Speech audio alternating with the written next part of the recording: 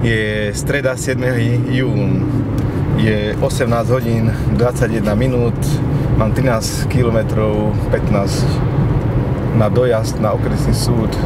To bolo prvé pojednávanie s novým sudcom, tým Karol Poslu. Ja som ho nepoznal, videl som ho u vás, myslím, niekde, alebo na nejaké disciplinárke bol, lebo on, on je no... O, sudca posluch je bývalý vojenský sudca, rozumiete? To je, e, to je v podstate kategória doktora Dohďanského. To sú ako ľudia ošľahaní, lebo tí e,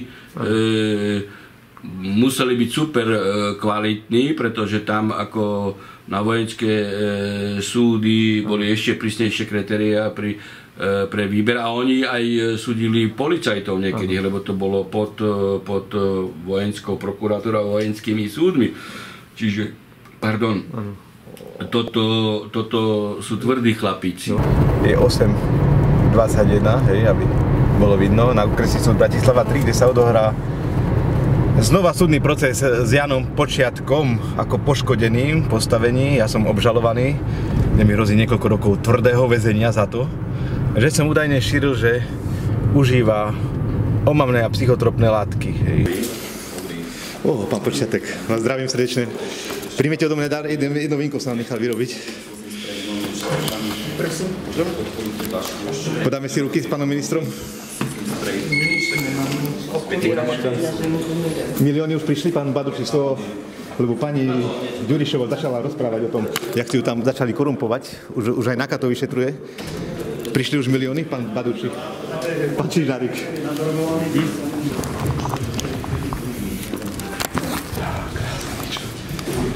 Už začalo, pán doktor? Dobrý deň, pán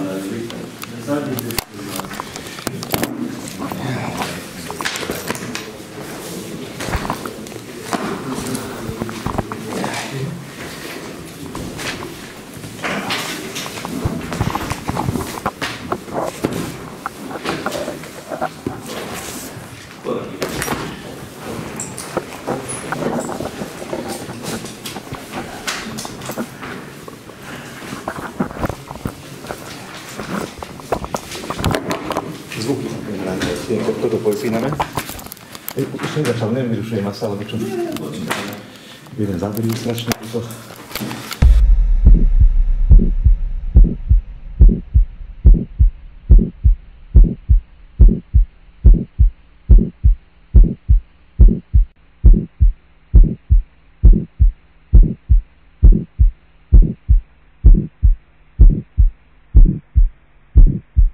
čo mne šíri, malo poslúžiť na vlastnú medializáciu a nielen malo poslúžiť, ale je očividné, že to teda aj poslúžilo.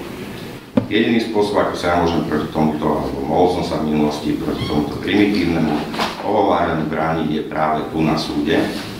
Aj keď musím uznať, že po 4 rokoch už mám na to iný názor, pretože viac menej jasné, že aj takto poslúžilo len jeho zámeru zviditeľniť a odliadnúť od toho, ako to celé skončí, výsledok je jednoznačný. Pre mňa je to už obrovská strata času a energie a vôbec na to nemám náladu. Je aj dôkazom, aj dnešné pojednanie je dôkazom, že to je vlastne celá fráška zo strany pána Dana. Na stránke skgorila.tumblr.com je uverejnený nasledujúci text ako prepis nahrávky. Cesty bude Paška zabezpečovať, minister dopravy bude bývalý minister financií. Ber ho za trosku, čiarka, lebo sa dal na psychotropné látky, ale je tam jeho otec, Kečkoš, na financie ho už nedajú. Moja otázka znie... Otázka? Moja otázka, či ste nejakým spôsobom voči mm, to, týmto zverejneným informáciám zakročil podobným spôsobom ako v tomto čo ste si napísali vy sám, alebo čo? Je ja som to živote nepočul ani nevidel, takže neviem k tomu Je to na stránky Gorila Slovenska. To je vaša stránka? Uh, viete sa vyjadriť? Nie. Odpovede, že nie, lebo ste to nečítali. Nie, že to nečítali. To zjednoznačné. Pán poškodený počiatek. Videli ste niekedy v živote kokain? Vo filme. Vo filme. Ako v tom filme ten kokain vyzeral? To je prášok. Motor je krášny. Ale si vy. Možno si. Prišli ste vy osobne niekedy do styku s kokaínom? Nie. Ani nikto vo vašej domácnosti, ktoré sa držiavate ako manželka, alebo, alebo tak, Určite nie. Keď ste ho videli vo filme, alebo počuli ste vlastne, lebo ste sa určite o to zaujímali, o ten Daňo hovorí o tom kokaíne a tak, aké asi následky, jak sa prejavuje na človeku ten kokain, viete nám na- popísať, aké následky, aké, aké následky, ale my, my postupne zistíme, my ho vyformujeme. Viete nám uzrieť, aké následky na konanie človeka má kokain? Je to celé fráška, pseudodebata, pretože takáto kvantifikácia nie je ani fyzikálne možná. Že vplyvom na to je ťažké a navyše je to 4 roky dozadu. Je to množstvo informácií, ktoré ja som zachytil, vy, ktoré zverejníte, prebežne sa tomu na Facebooku venuje veľa ľudí.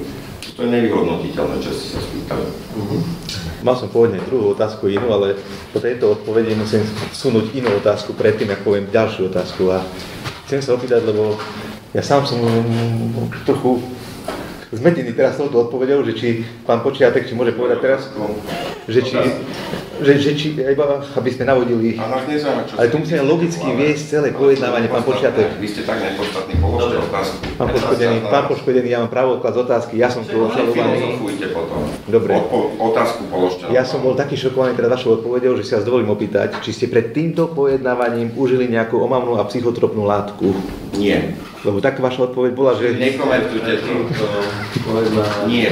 Dobre, Otázku ďalšiu. dobre, ideme ďalšiu. Alebo psychotropné Ja Chápem, že vy máte strašne veľa času, ja na to nemám na veľa čas. A vy, vy, vy ste ma tu do- dotiahli. Tak sa rýchlo pýtajte. Však pomaličky, pomaly, ja, ja som potom strese, keď rýchlo, ja musím pomaličky.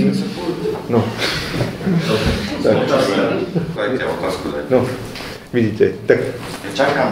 však nech ma nechá, položím otázku. Ešte už otázku. Áno, my máme 10.30. Tu nie ste na ministerstve, pán Počiatek. Tu nie ste na ministerstve, tu ste pred spravodlivým súdom. otázku, neviete Pán. Poškodený Počiatek, tu ste pred spravodlivým súdom.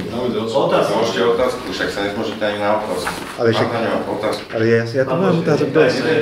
Neviete položiť otázku. Tu sme pred spravodlivým súdom, pán predseda, poušte, po, po, po, poušte Položte, dajte poškodeného. otázku. Tak dajte poriadkovú pokutu, nech nevyskakuje. Otázku, Ja sa vyrieším. No, Áno, obžalovaný. Taktiež máte právo záverečnej reči, môžete uvesiť, čo sa môžete pridržavať záverečnej reči svojho pána obhajcu. áno. Tak samozrejme využijem právo záverečnej reči. My sa páči. Nejak bolo v jednom filme, že rozprával neviem koľko pol roka záverečnú reč a vždy to museli odkladať a budem stručný, pretože som nebol pripravený na to, že dneska budú záverečné reči. Ale dobre, prekvapili ste ma, možno pozitívne budeme na konci, lebo práve dnešným konaním sa ukáže, že či tu zvyťaží juristúcia alebo spravodlivosť. Juristúcia v tomto ponímaní, že od samého začiatku je tento prípad, možno v dokumentácii v budúcnosti sa bude pýtať o jednom z najväčších základov a zárodkov juristúcie na Slovensku. To znamená, že osoby s právnym vzdelaním, ktoré ľudia dúfajú, že prinesú spravodlivosť, sa podliehajú a podielajú na politike, hej? že podliehajú tlakom politikov. A to bolo už v kancelárii sa to udialo pána Gašpara, keď prijal ministra cez svojho kamaráta Kaliňáka a kde to celé sa zrodilo, celá táto kauza, ktorá tu v živote nemala sa do tohto štádia dostať. A preto som na začiatku predniesol aj to, že treba preveriť duševný stav prokurátora Juhasa a dneska ľutujem, a teraz ľutujem, že ani tohoto pána Deleja sme nedali preveriť ako na duševný stav, pretože som dúfal, že na začiatku príde a povie, ja som si to naštudoval, lebo je mladý, vidím vzdelaný, hej, a beriem obžalobu späť. Takto dneska malo prebiehať. Hej? A poviem povedal, toto nie je juristút. Hej? Ale dneska už aj on sa zaradil do kategórie, aj tým aktívnou obranou tu pána Počiatka, do kategórie juristúta. To nechcem uražať. Hej? Pán obžalovaný. No, dobre, ale ja, ja iba spontánne hovorím, viete, ako, ako pocitujem. No. Sa na. A tu je dnes ten zásadný bod, a to úzko súvisí aj so slobodou tlače, slova a vyjadrovania, ktoré ja dodržiavam, pretože za 4 roky, alebo za 5 rokov, od 2011 roku, odkedy som začal sa venovať tejto oblasti, ktorú som dúfal, že v živote nebudem robiť, lebo ja som mal kopu iných vecí, až tak som začal zisťovať, že aká nesloboda tu prichádza. Tak jak som sa začal tomuto venovať, tak sme založili tú tlačovú agentúru GIN. Pretože mnoho vecí, na ktorých som aj poukazoval, keď som ešte nebol v postavení novinára, sa za peniaze ututlávalo, skrývalo a nikdy sa nedostal na verejnosť. A práve Gino sme to chceli napraviť. Za 4 roky alebo za 5 rokov, odkedy som bol stíhaný za, tu, za pána Počiatka, som žiadneho iného politika nevyzval, aby postupil drogový test, lebo tam som to nemal overené. Hej. Za x rokov toto robíme. Je jediné konanie, ktoré by skončilo právoplatne žalobou proti mne, či v trestnom alebo civilnom konaní že by som sa mal niečo splniť, alebo tak, žiadna takáto vec nie je pravoplatná. Preto neviem, prečo ma tu počiatek nazýva pseudonovinárom a znižuje moju dobrú povesť pred verejnosťou on, možno ja dám na ňo teraz trestné oznámenie, hej, pretože som sa ničo nedopustil. Iní novinári tu píšu nepravdy, platia pokuty, e, dostávajú sa na súd, odškodné platia. Ja nemám nič také zatiaľ, ktoré bolo pravoplatne skončené. Hej. Mm-hmm. Preto neviem, prečo sa tu nemôžem pred týmto súdom aktívne brániť tým, že by prišiel jednoducho pán doktor Fico, hej, predseda vlády a povie, v živote som nevidel počiatka brať kokain, hej, prečo nepríde jeho najbližší kamarát a partner, pán Kaliňák sem, hej, alebo spolupracovníci, manželka a povedia a súd spravodlivo prebehne a to. Hej. Zatiaľ vždy dúfajme spravodlivosť tohto súdu hej, a uvidíme, že či dneska skutočne sa naplňa tie slova a bude zvinutý prst na všetkých ostatných, ktorí by robili to isté, čo ja, alebo aj robia to isté, čo ja, že pozor, tu jednoduchým odsudením zo dňa na deň skončíte ako s podmienkou, s pokutou alebo čím, len za to, že sa verejného funkcionára opýtate na otázku verejného záujmu, lebo oni ho volili, on dostal 138 tisíc hlasov, alebo koľko, keď sa dostal do parlamentu v 2006 roku 538 hlasov dostal, hej, a teraz sa kladiem otázku, prečo sa mu znižil počet hlasov vo voľbách zo 100 tisíc počiatkov, či to bolo môjim konaním, to je tá škoda, alebo, alebo tým, jak sa správa pred verejnosťou, lebo ja mám minimálny dopad, však o mne skoro nikdy nepíšu, hej? Tak jak som ja mohol poškodiť pred verejnosťou, hej? Keď všade je zákaz, rozumiete, hej, na nás, hej? Odkedy je tu aj táto vláda, vláda Smeru, hej, ktorá tu e, aj z takýchto ministrov vytvára obraz spoločnosti. A ľudia sami sa začali zaujímať, oni tie otázky o tom kokaine boli predtým. Ja som sa ho výlučne opýtal, či pôjde na drogový test. V celom spise nie je jediný dôkaz, jediný, jediný moja vyjadrenie, kde to pokladám až za tvrdenie, že berie drogy, hej, tu presne ako povedal advokát. Žiadneho iného politika som sa neoslovil, preto som ho pýtal, že či iných politikov som oslovoval, hej. Tu by som bol fakt chorý, keby som za každým chodil, bereš drogy, bereš. My dodržiavame absolútne novinárskú etiku a zásady, akým sa má novinár správať. Vždy pošlem návrh na vyjadrenie, aj na najvyšší súd, keď tam robíme nejaké videá alebo publikujeme, ale nikto sa nevyjadruje, hej, ale možnosť dávam priestor na vyjadrenie každému, aj doktorke Švecovej, aj Bajankovej, ale nevyužívajú, viete. A oni nám na trestné oznámenie nedali, lebo by neúspeli, lebo priestor dostali. A tak dostal aj pán Počiatek priestor na vyjadrenie, ale nevyužil, hej. A ani neposkytol súčinnosť, nezavolal, hej, kto si daňo, hej. O jak on vedel vtedy, že som pseudonym, že vtedy sme začínali, viete. Hej. No, čiže to by som ja chcel povedať, že Dneska sa ukáže, keď už teda ideme rozhodnúť, lebo vidím, že ideme, že ti tu zvyťazí to, čo sa tu zrodilo pred niekoľkými rokmi, a vy toho tiež súčasťou, pán Baduči, juristúcie, pretože vy tých juristov to možno vytvárate, neviem, či túto pána, ale iných konaniach určite. Dobre, to iba hovorím ako k veci, hej? Sa musíte vrácať na Áno, dobre, tak to budem. Tak. Pri konania trestného budem perfektný, lebo zatiaľ chodím na to a že či je nárok na to verejne klásť otázky voleným zástupcom ľudu hej, a pritom overené z toho zdrojov, ako povedal tu po, to môj právny zástupca. Hej. To znamená nie, že idem za každým a vy ste tamto, a vy ste kradli a vy... Nie, my si to máme overené z viacerých zdrojov a potom sa pýtame. Hej. Takže to je tá zásadná vec. Hej. No, tak to je asi už potom všetko. Takže počkáme, počkáme si váš verdikt a Uvidíme. Prvýkrát na verejnosti. Po smeráckom exministrovi Jánovi Počiatkovi sa po vlaňajších voľbách akoby zľahla zem. Na verejnosti sa dnes objavil prvý raz, keďže musel svedčiť na súde v prípade jeho ohovárania. O, už sa vôbec nezaujímam o politiku. Som rád, že nemusím. A ste hovorili na súde, že už ani nečítate správy. A ešte ste aspoň v kontakte s vašimi bývalými? To určite, však to sú kamoši, ale nie už na takej pravidelnej báze, ako to bývalo v minulosti. Predsa len mám úplne iné aktivity. Aj s pánom premiérom aj? Veľmi už zriedkavo, lebo však majú veľmi nabitý program pracovný a ja nakoniec tiež. Takže... hovorím na veľmi nepravidelnej báze, ale jasne, že áno. A žijete na Slovensku? Áno, na Slovensku. Ale cestujem veľa. Nelutujete toho, že ste sa privzdali mandátu?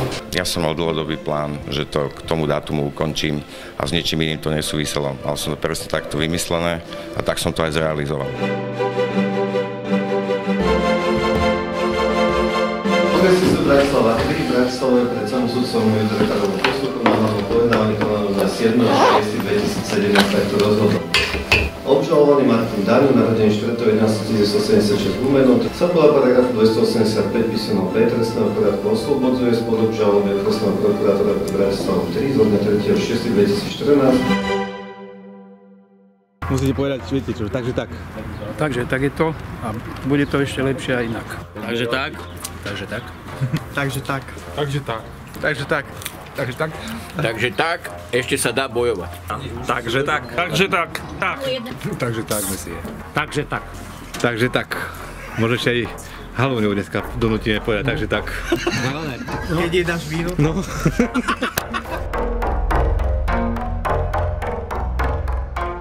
Súd vychádza z toho, že v danom prípade pán Dáňo je novinár, teda nie v danom Dáňo novinár, aj v iných prípadoch. A položil otázku, položil otázku v súlade s výkonom svojej práce.